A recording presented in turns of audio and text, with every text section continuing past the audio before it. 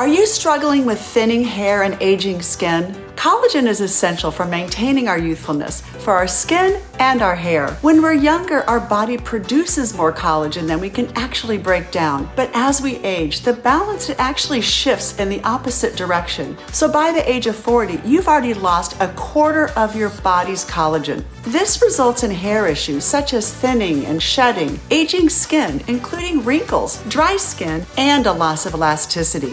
Fortunately, there are ways to balance that decrease in collagen production with supplements like marine liquid collagen from Taut. I tried it and my hair has come back to life. It no longer feels dry and lifeless. It's thicker. It's fuller and more vibrant than it's ever been before. This collagen supplement has been clinically proven to improve hair, skin, nails, and joints. It offers numerous other benefits, such as supporting immunity, improving bone density, and making you look and feel younger. This product is backed by science and trusted by dermatologists around the world because it's 100% pure marine. It's made from wild caught fish. It doesn't contain any pork, chicken, or beef like so many collagens made by other cheaper brands. It's trusted by over 50,000 customers. If you're dealing with aging hair, skin, or nails, or if your joints have started to hurt, you need to check out Liquid Collagen by Taut. I can't recommend it enough.